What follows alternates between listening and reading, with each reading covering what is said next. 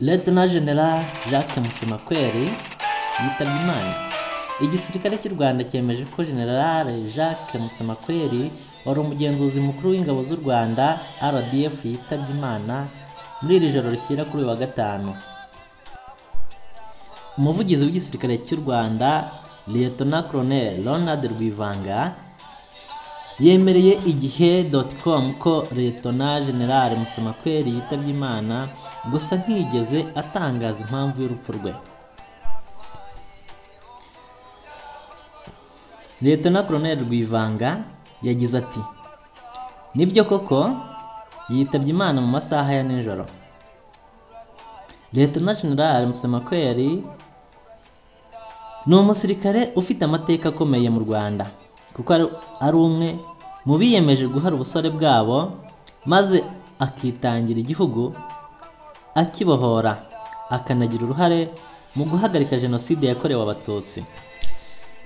Lieutenant General Musemakweli yari ashinzwe kugenzura no gukurikirana ibirebana n'imicungire y'ingabo amahugurwa ibikorwa bya gisirikare ibikoresho n'imicungire y'umutungo by'ingabo z'u Rwanda.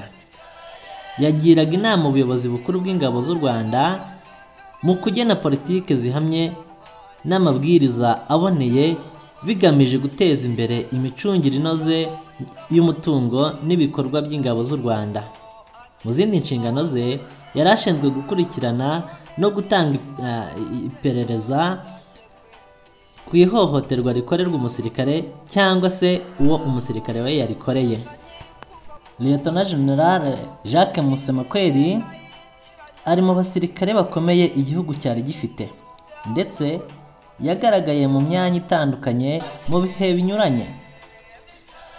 Ku wa cumi na kabiri mutarama bibiri na cumi n'umunani ni bwo Jacques Musemakweli wari ufite ipeti rya General Majoro yazamuwe mu ntera na perezida yazamuwe mu ntera na perezida wa repubulika paul kagame akaba umugaba w'ikirenga w'ingabo z'u rwanda. Amugira Lieutenant General. Mu zindi nshingano yashinzwe harimo kuba yarabaye umuyobozi wari ushinzwe ingabo zirinda umukuru w'igihugu Republican Guards yari afite ipeti rya General Major.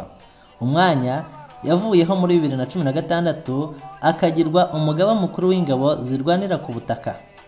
Muri mutarama bibiri na cumi n'icyenda Lieutenant General Jacques Musemakweli yagizwe umugaba mukuru w'inkeragutabara mbere y'uko yo kuwa gatatu Gashyantare bibiri na makumyabiri agirwa umugenzuzi mukuru w'ingabo z'u Rwanda.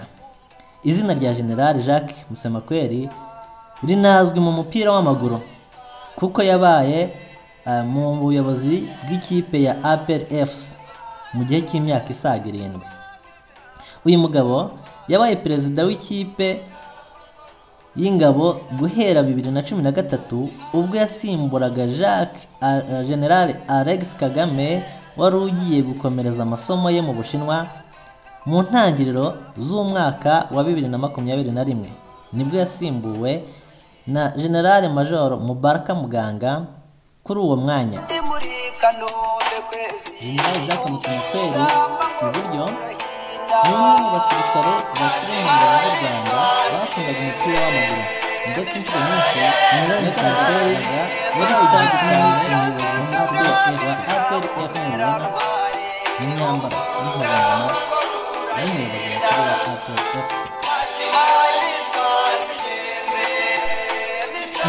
rwa General Jacques Musemakweli yamenyekanye ahagana saa tanu z'ijoro kandi Lieutenant General Musemakweli yari umugenzuzi mukuru w'ingabo z'u Rwanda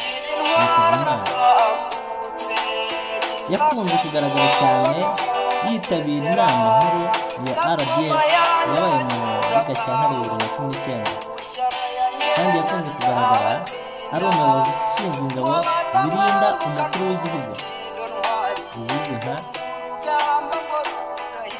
presidential guard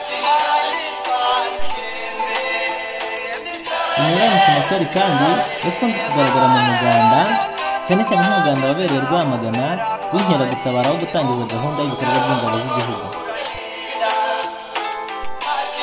Lieutenant General Jacques Musemakweli yabaye umuyobozi ushinzwe ingabo zirinda umukuru w'igihugu ndetse uyu mwanya mu gihumbi kimwe mu